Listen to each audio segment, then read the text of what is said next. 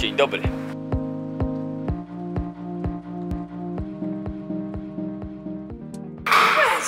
To jest moja żona. A to jest twórczość artystyczna mojej żony.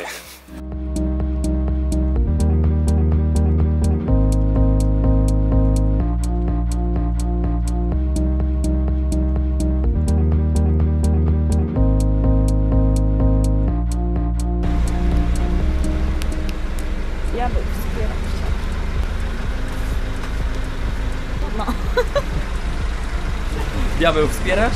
Wspierasz. Idziemy.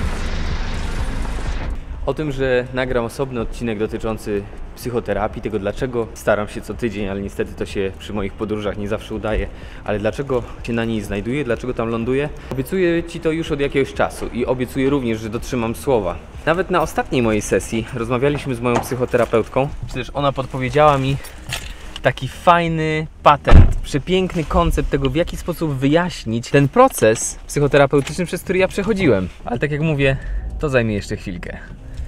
Teraz trzeba jechać, więc kamera off. Całe miasto czerwone. 30 minut na pokonanie 9,5 km. Witamy w Warszawie. Dojechałem i to dojechałem trochę wcześniej niż planowałem, więc mam jeszcze chwilę, żeby porozmawiać. Przebijałem się przez Warszawę. W dosyć dużych korkach miałeś okazję, miałaś okazję widzieć, że niestety Warszawa jest dosyć mocno zakorkowanym miastem. Tym bardziej, że jeszcze nie ma godziny, znaczy teraz już jest godzina 17, ale jak wyjeżdżałem, była godzina 16.30. To nie jest taka godzina naprawdę super top, jeśli chodzi o korkowanie się miasta. Parę razy była taka sytuacja, że gdzieś tam jedziemy na zakładkę, ja oczywiście wpuszczam tych kierowców, których jakby kolejka nadchodzi, no bo na tym polega kultura na drodze. I niejednokrotnie kierowcy dziękowali sobie, szczególnie ci, którzy się nie wpychali tak bardzo hamsko, że oni po prostu jadą i konie. Ale o tym już rozmawialiśmy, dlaczego wolę niemieckich kierowców od naszych rodzimych, e, jeśli chodzi o ten porządek, który się dzieje na drodze. Niejednokrotnie właśnie jest tak, że kierowcy sobie dziękują. Rozmawiałem kiedyś z przyjaciółką, która jest świetnym kierowcą, ale za każdym razem, kiedy ktoś jej zajechał drogę, to już się strasznie denerwowała i jednocześnie, kiedy udostępniła komuś miejsce, żeby ten ktoś sobie wjechał i, i mógł włączyć się do ruchu, to jeżeli ten ktoś jej nie podziękował, to zawsze mówiła, a dziękuję to co? Pies? Pies? Ty! Piesek. Jaka rasa?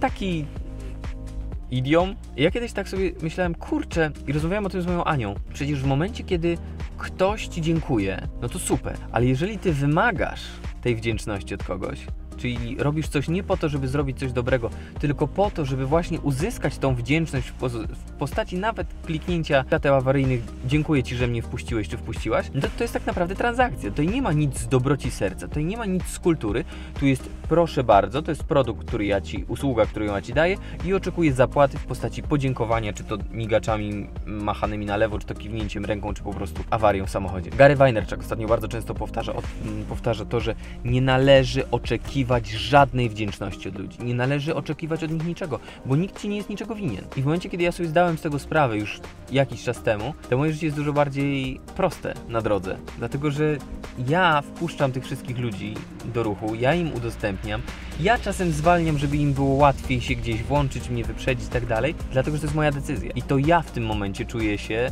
że robię hej, coś dobrego, masz, łapka w górę, like, a nie daję ci coś pod warunkiem, że mi odpłacisz właśnie podziękowaniem, bo jak nie, to jeszcze gorzej, na pochybel ci. I tak jest dużo, dużo łatwiej. Naprawdę, to jest taka obserwacja drogowa, ale strasznie skuteczna. Nazwałbym ją takim mikro drogowym lifehackiem. Tak. I tym bardziej mi się bardzo przyda ten spis treści, o którym mówiliśmy dwa dni temu, tych odcinków, dlatego że mam nieodparte wrażenie, że ja już o tym mówiłem. Nie wiem, czy mówiłem o tym tobie na tym vlogu, czy rozmawiałem o tym właśnie z Anią, czy z kimś jeszcze znajomym, ale to jest coś bardzo fajnego i bardzo łatwego do wprowadzenia. Po prostu nie oczekuj wdzięczności, zrób coś z dobrego serca, z chęci, z dobrej woli i będzie dużo lepiej. No, to ja biegnę na terapię.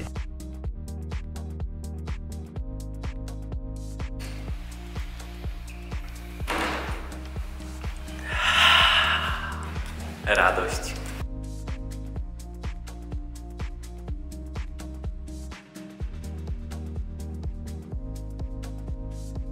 Jest godzina 20.30.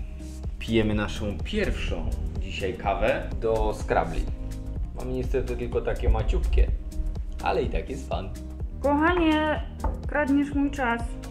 Ania zarządziła czystkę etniczną w szufladzie z okularami, więc mierzymy.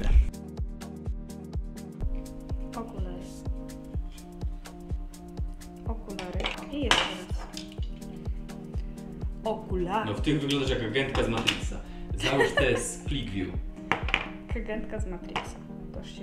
Te No w są tych wyglądasz najlepiej. jak żaba. Brakuje mi tylko tych dmuchanych.